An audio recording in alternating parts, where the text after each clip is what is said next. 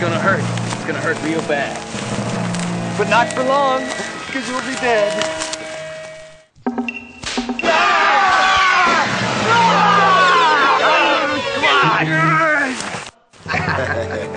Welcome, my friend, to the tree.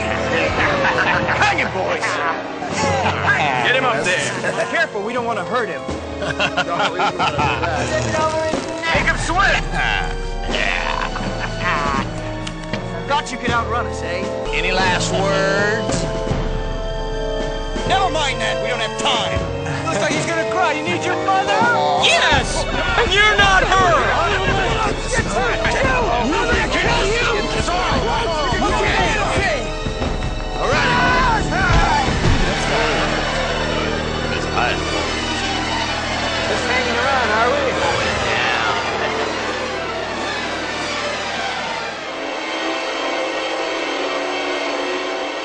I shall depart this world with dignity. Uh. Oh, please, don't let me die.